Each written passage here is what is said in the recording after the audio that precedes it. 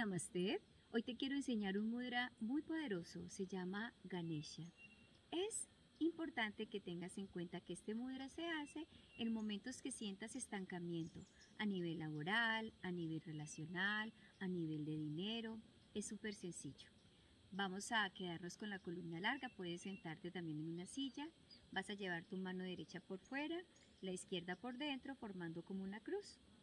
Entrelazas el dedo del agua, meñique, entrelazas la tierra, el anular, dejas libre el éter o el dedo de la caja, entrelazas los índices, el dedo del aire y queda libre pulgar para conectar y formar Ganesha.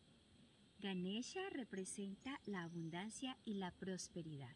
Aquí formamos las orejas del elefante.